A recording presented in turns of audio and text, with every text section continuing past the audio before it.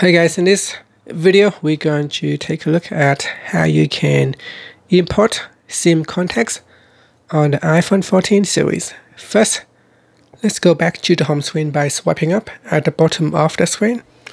From the home screen, tap on settings. And in settings, you want to go down and tap on contacts.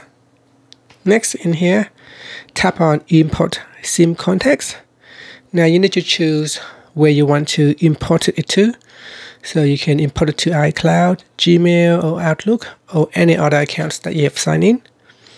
I'm going to choose iCloud. And that's it. Now it has imported all your contacts from the SIM to the iCloud account. And that's it. Finally, you can swipe up to go back to the home screen. Thank you for watching this video. Please subscribe to my channel for more videos.